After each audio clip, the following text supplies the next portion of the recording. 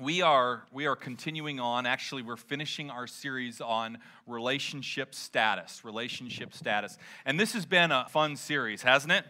I tell you i have been just so excited about what god has done.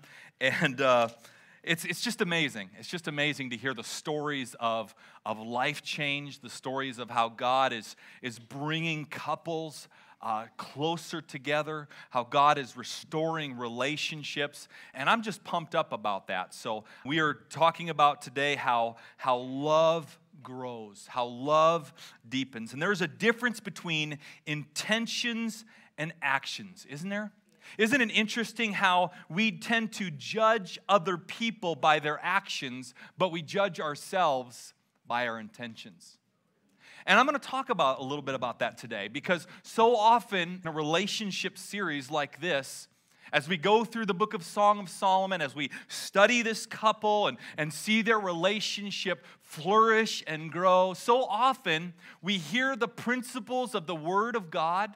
We hear the message of the gospel preached, and so often we listen to the principles and we intend to do something, but oftentimes our actions they don't speak. Our actions, they go no further. And so I'm going to talk a little bit about that today. I'm going to talk about how we can really bridge the gap between our intentions and our actions. Let me give you the context of where we are in this series called Relationship Status. We saw in the first week this couple come together. They were attracted to each other in several different ways. And then in chapter two, we saw them go into a courtship and for those of you who are single, I'd encourage you to read chapter two because courtship is really a more of a biblical principle than the whole dating scene that we have here today. And then in chapter three and four, it got really spicy and hot in here because we talked about sex, all right? And for those of you who are um, in here who went through that, God bless you. I didn't get too many emails, and you're still here, so that's good. Um, chapters 5 and 6 we talked about conflict in relationship and how to fight right. Because again everybody fights in relationship. Everybody fights in marriage. It's a matter of fighting right. And we're not going to fight in our marriage. We're going to fight for our marriage. It's not about who gets on top who's the winner of an argument because you can be the winner of an argument and lose your spouse. Well today we're going to see the time in between the honeymoon and death it's the relationship as it flourishes, as it grows. This is 10 years into marriage. This is 20 years into marriage. This is 30 years into marriage. And what we're going to see is that their relationship is still strong, it's still flourishing, it's still growing, it's exciting. And I'm going to give you three simple thoughts that I want you to focus on this morning, three simple points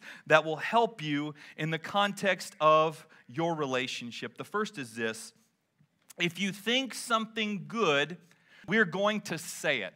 If you think something good, we're going to say it. Why is that important? Why is that such a big deal?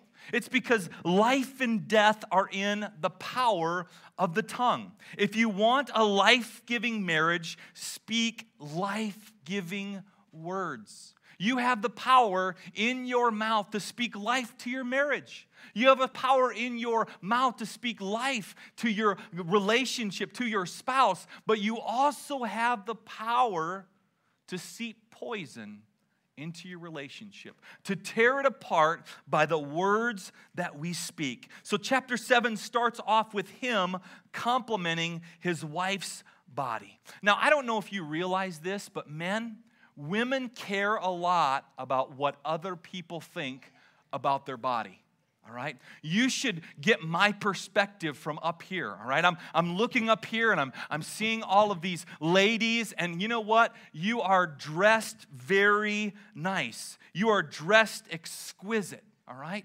Guys, you're different. It's hygienic for you, okay? you don't care about looking nice oftentimes. Does it fit? Is it halfway clean? I mean, I'll make sure that, that I can just find something to wear, button it up, snap it on. I'm going to church, everything is going to be fine. But women care about their bodies, they care about what other people think about them. So oftentimes, as a pastor, I can look up here and I can tell what season we are in based upon what the women are wearing. I can tell if you're going into spring. I can tell if it's getting around fall. I can tell when you're angry, when you've had a bad morning, huh? Because you care about what you wear and you care so much about your bodies. And also, guys, have you ever noticed guys are very different when it comes to relationship with each other? We are friends with other guys based upon how we can offend them, right? It is true. If you talk to some guys when they meet their buddies, they're intimate when they can make fun of each other in a real happy way. Right? Hey, fat boy, what's up, man? What's up, Baldy? It's so good to see you. That's how guys connect. That's how you know, as brothers, man, we love each other. What's up, fat boy? Oh, you silly, stupid looking fool. That's how guys are. That's just, and you can really tell if you love them if you insult them and hit them too. What's up, man? And you hit them and what's up, Baldy? Yeah, you're my friend. But it's true, man. Guys, we insult each other, all right, to tell how much we love each other. It's not so with women, all right? It doesn't work with women. Like, you will not go outside in the parking lot as you're coming into church, and you will not hear another woman say to a woman, Hey, fat girl, what's up? that, that does not happen, all right? They tend to get offended, they tend to get hurt. Now, I say all that to say this that so oftentimes, guys, we don't realize how our words can damage how our words can hurt. See, oftentimes, us men, we can take our friendship relationship with each other and try to transition that to our spouse. And we can say hurtful words about her body, and you don't even mean to offend, you don't even mean to hurt, and yet we don't even realize how deep those daggers can go.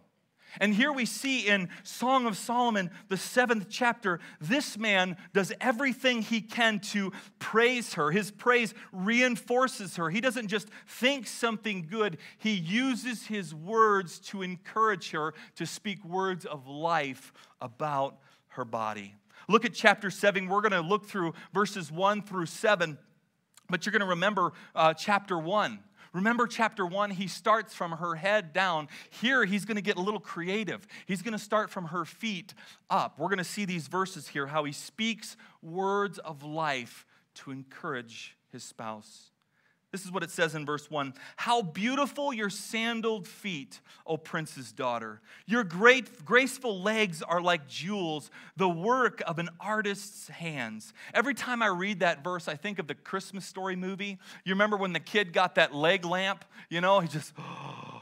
I mean, he just thinks that, ah, oh, this is just incredible. This is what this guy's doing. He's loving his spouse after years and years of marriage he still is speaking words of life. He's still encouraging his wife. He's still telling her how beautiful she is. Now, women, let me tell you something. If your man come to you and said, "Hey, your legs are still hot, they're still sexy, honey, you are still beautiful," what are you going to say? You lie. listen, listen, listen. Let him encourage you. Don't, don't cut him down. Let him speak words of life to you. Let him encourage you. Let him tell you how much he loves you and how beautiful you are to him. Listen, if you put up the stop sign every time he encourages you, you're not going to get encouraged anymore. This man, after all of these years, still says, You're beautiful. He says in verse 2, Your navel is a rounded goblet that never lacks blended wine. Your waist is a mound of wheat encircled by lilies. Now listen to me. That guys, that'll kick you that'll get you kicked right out of bed if you if you don't explain it here, okay? I'd encourage all men never to say that their wife is a mound of anything, all right? That's important. That's important. See, we're, we're coming in several thousand years after this was written, but, but to a Jew, this was an encouraging word. This was an, an, encouraging thing to a Jew. See, to a Jew, there were two great crops the spring crop and the autumn crop. And that, that, that spring crop was, was basically a crop full of um, the fruits of the land, the, the grapes, the, the fruits. And they would take those fruits and they would make wine. And so, the, him saying that the goblet would never lack the choices of wines, basically, he's saying that is this you are a blessing to me. And that harvest in the, in, in the autumn was a harvest of wheat. And if that wheat would grow and it'd be plentiful, if there would be a mound of wheat, basically it was God's blessing upon the land because he sent the latter rains and there was a great harvest. This man is looking at his wife and he's saying, Honey, we have all the wine we need. You, you, you are like, you are a blessing from God in my life. You are God's blessing to me. Let me ask you a question. When was the last time? You looked at your spouse in the eye and said, You know what, honey? You are God's blessing to me. You are God's blessing to me. I mean, God has blessed me with a good job. God has blessed me with some wonderful kids, but listen, they fail to, they don't compare to the blessing I have in you. You are God's blessing in my life. Proverbs 19 14 says, Houses and lands are from fathers, but a good wife is a gift from God. Amen. She is your blessing. Do you say those things to her? Do you tell her how much of a blessing you are to me? How much of a gift from God that you are to me? This man does. He says, Your breasts are like two fawns, like twin fawns of a gazelle. Remember this? Yeah, I know it's kind of spicy, isn't it, Chuck? This guy just tells it like it is. And this is years and years after the honeymoon. But he says the same thing, doesn't he? And remember, a few weeks ago, we talked about the honeymoon and how these gazelles were, were, were just little deer. And you don't spook deer, right? You treat them tenderness. It's a picture of tenderness. It's a picture of tenderness. And you know what I hear oftentimes in counseling sessions? And women will, if they're honest, they would tell you that when we were first married, when we were in the honeymoon stage, you know, the relationship sexually was, was very tender. There was a lot of cuddling, there was a, a lot of romance, but now, after 20 years, he's lost his tenderness. It's just a physical act and then it's over. Can I tell you something? Not this man. After all of these years, there's still tenderness. Now, you might not have heard an amen but every woman, I promise you, just said amen in their own heart. He goes on, Your neck is like an ivory tower. Your eyes are the pools of Heshbon by the gate of the Bath of Rabbim. Your nose is like the tower of Lebanon looking towards Damascus. Now, this is a picture. He's looking at his wife, and her nose is like the tower. Okay, and basically, what this is, in, in that time period, it was, a, it was a sign of defense. Okay, this tower was erected, and they would look for their enemies to come in. And so this man is looking at his wife and he's saying, You know what? I find safety and security in your face. Women, does your husband feel safe around you? Or do you, do you speak words of, of discouragement to him? Do you speak with your friends? Do you gossip about him? Do you share your fights with other women in this church? Some women ask, Why doesn't my husband go to church? Why doesn't he want to come to church with me? Well, here's a big reason. Maybe he doesn't find safety and security in your face. All right? Maybe because the words that you speak, words of discouragement, you, you, you bring out all of his bad points that he doesn't want to come. In this church, we're not going to gossip about our husband, all right? You're not going to gossip. You're not going to whine and complain about all the things that your husband does wrong. Because I promise you, that's not going to bring you two together, and that's going to push him far away from the house of God. This woman, her, her face brought security and safety to this man's heart. He was, he, he was ready. There was tenderness, there was joy. They didn't think about the, the good things, they actually said them. They spoke words of life in their relationship. In fact, one of the most common and complimentary things we say as, as couples is this I love you. I love you. Even if your relationship isn't that great, you still say, I love you. But I want to challenge you to take it to the next level. Don't just say, I love you. Insert the word because.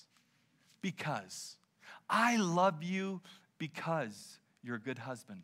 I love you because you work your fingers to the bone and you provide for us. I love you because you cook this awesome meal and it's wonderful. I love you because after all of these years, you are still attractive to me. After all these years, you are still sexy. You are still wonderful. I love you because. But here's the thing whenever you don't say something good, by human nature, your spouse usually assumes something bad. And we know this is true. How many of you have texted, texted somebody and, um, you know, maybe you were kind of joking a little bit. Maybe you said, hey, fat boy, what's up, homie, you know? And, and then they don't text back right away. And you start to get a little nervous. You think, man, they're mad, they're upset, they're not, they're not connecting with me. And so you have to type in joke as a text because oftentimes, if we don't say something nice, we oftentimes assume something bad. It's important that we don't just think good thoughts about our spouse, that we actually say good things about our spouse. An encouraging word will go a long way. You know what I love about my wife? This is my wife, Tanya. Can we give her a hand? She puts up with me all the time. It, it, it truly is amazing. We have a, a, wild relationship. It's so funny because I'm just always moving and she's just always trying to settle me down. Um, but you know, what's amazing about my wife is there's safety and security uh, in her arms. I don't come home and I don't worry about her talking bad about me. In fact, when she gets on the phone and I'm in my office, I can hear her say something positive. Oh, my husband is so wonderful. He did the dishes. And you know what happens? No matter if I'm watching SportsCenter or anything, I turn it down and begin to tiptoe. You know, because I want to hear all the good things she's saying about me. It's amazing how that kind of dynamic, that dynamic in your relationship can help you out. It can encourage you. Listen to what she says. She's talking now. It says this I, I belong to my beloved, beloved, and his, listen to what this next phrase is his desire is for me. His desire is for me. That Hebrew word is tashuka, and it means to consume. If you've ever watched the Nature Channel and you've seen a lion go after a, a gazelle or anything like that, it's, it's tashuka, to go after. So this man is, is, is pursuing his spouse. He's con- wanting to consume her. He's wanting the intimacy level to go deep. And he's using his words to build up and not tear down. How do you use your words? Are they to build up? Are they encouraging to your spouse? Are they lifting up their, your spouse? See, we all go through stressful times. We all can get a little rigid and bitter and angry. And so often we take the stress of work and we bring it home. I've done that. I'm the first to admit when things get stressful at church, I oftentimes take it home. It's important that we stop doing that. It's important that we use our words to speak life, not death, to our family. Number two, if you think something special, do it.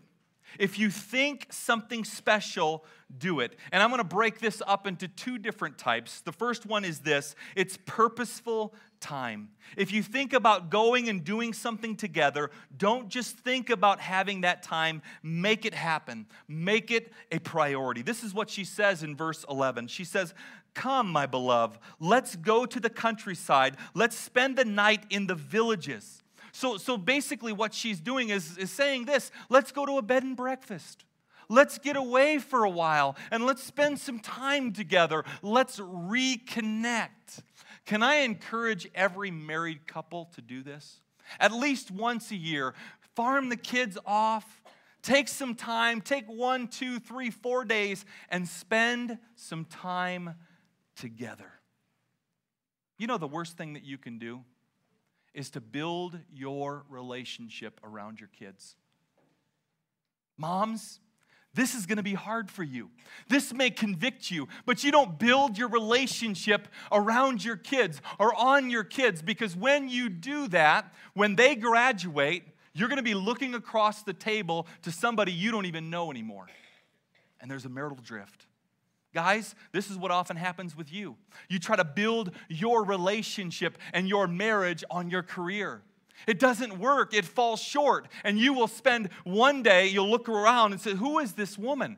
I remember marrying her, but I don't know nothing about you now. When you build your relationship on your kids and on your career, it will fall short. You build your relationship first on Christ and then on each other. And when you do that, there will be love and joy in your relationship. So I, I encourage you, I challenge you, take some time, spend some time together. I'm going to be honest with you. In ministry, it is chaotic. Life is busy. I have six kids. I, I, mean, it's stressful in my house. We are constantly going and going and going. And there are times where we have to. I never said we need to. I said we have to break away, farm the kids off, and get time together alone. All right? Pastor Joe, I don't know how I'm going to do that. I don't have the time. I don't have the money. I don't know how this is going to happen. Hear me, you don't have time not to do that. Listen, it is so important for you to do that you have to do it. It's, it's that vital to your relationship. It's that key. Well, I don't know where I'm going to take my kids. Leave them in the car. I don't know. You got to have time together. Because when you are together, it's amazing what happens. When me and Tanya, we're going to go in, in, in March. We're going to spend some time together. And I promise you, we're going to be rolling on the floor, laughing and, and, and uh, other things, and it's going to be awesome. I'm sorry, I'm, I'm in trouble. Is it getting hot in here? It's getting hot in here. Listen to what she says, verse 12 she goes on and she says, Let us go early to the vineyards and see if the vines have budded. So they're basically going to the park. If there's blossoms, if the blo- their blossoms have opened, if their pomegranates are in blue. So what is she saying here next? This is so awesome. There I will give you my love. Woo! This woman is speaking words of life. She's encouraging. She's saying, We are going to the park and we are going to this is going to be exciting. I don't want to get too PG 13, but we're going to the park and this is going to be fun. We are going to make love, there's going to be intimacy, there's going to be joy in the park. Now, I don't want to get calls from the jail this week you guys are taking this too literal. Some of you guys are going to go to the park. And this is before satellite, okay? This is before satellite imaging. This is before it was illegal, all right? So if some of you couples go to the park and try messing around, uh, I will visit you in jail, but I can't guarantee that it won't find itself in a sermon somewhere, all right? so, so don't take this too liberal. Don't, don't do that, all right? But this is a man's dream come true. Ladies, in our culture, most women see their, their man's sexual desire as a nuisance. It's the curse of our marriage. It's the only way we can have babies. If we could have any other way to have babies, I would have done it, but I had to have sex with him. That, that, that is the, the, the, the idea of our culture, not this woman. This woman is passionate about her husband. She doesn't see her husband's sex drive as a nuisance. She's encouraging her husband. She's saying yes to this. And you know what? That's important. Women, if you want your, your husband to be insecure, if you want your husband to be looking down at the ground all the time, reject him. All right? It'll happen. It'll happen.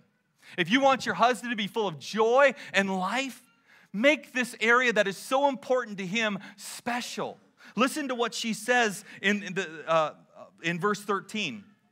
All right, she says, The mandrakes send out their fragrance at our door in every delicacy. I went to the grocery store, she's saying, and I bought some mandrakes, both old and new. And I, that is, uh, excuse me, both old and new that I have, that I have stored up for you.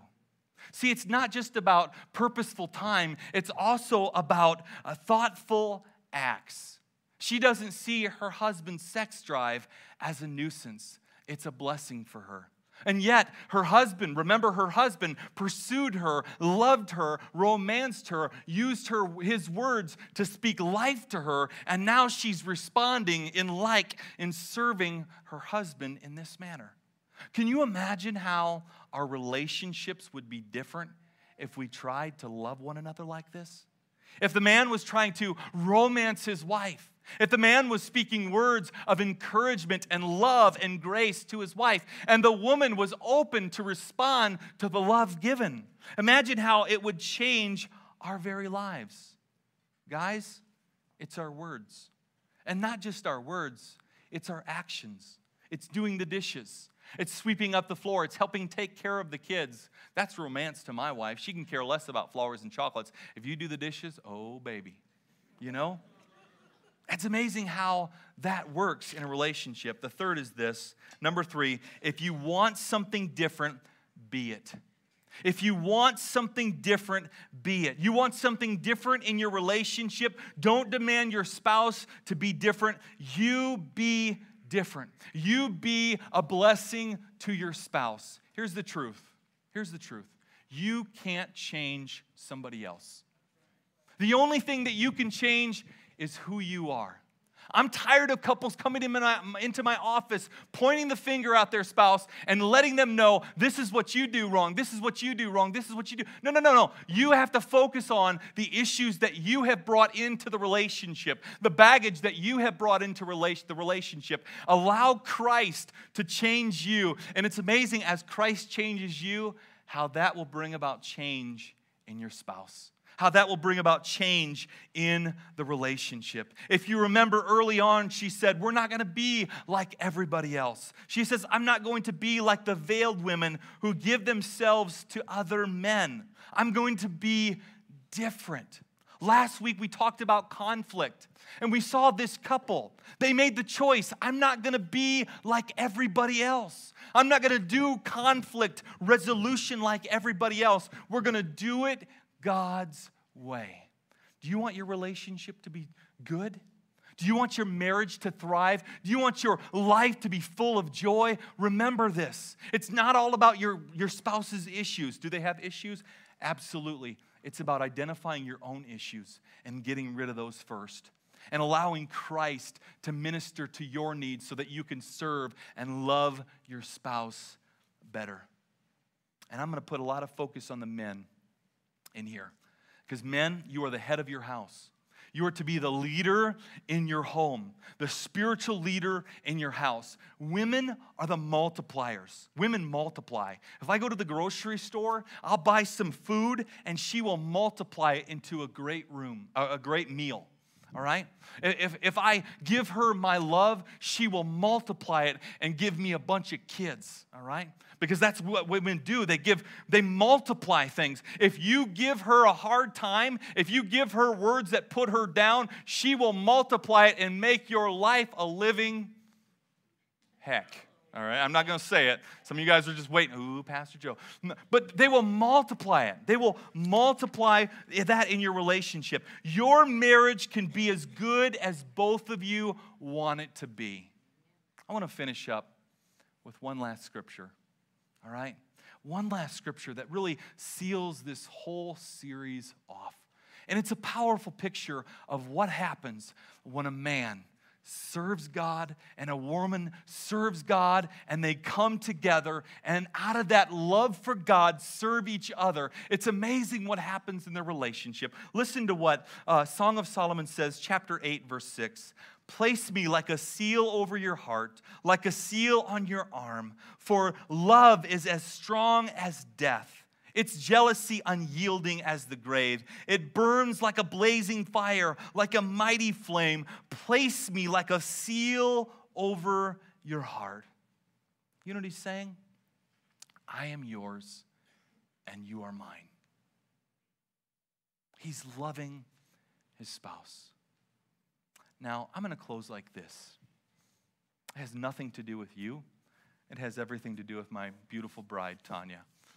And um, she's going to be embarrassed right now, but I don't get a lot of time to, to spend in service with her because oftentimes she's upstairs in the kids' church. But I want to just say, uh, Tanya, uh, it is just awesome to serve Jesus with you. And I love you with all of my heart. I know there are obstacles that come along, there are stresses in our relationship. But with Christ, we're going to do this together, okay? I love you. Now, I did that for me because uh, honestly, I want brownie points for, for later. But, but, But listen, listen, guys. Let's have relationships that honor Christ. You know, you know what I've seen in this area? In this area? I'm just going to be real honest. I've seen a lot of so called Christians that they can tell you the Hebrew meaning and the Greek meaning and they can talk about Jesus, but then you look at their relationship and it's falling apart. That's not God honoring. Can we have marriages that are strong? Can, can we love each other in this church? Can we love our spouses? Can you, can you imagine how that would just change our culture?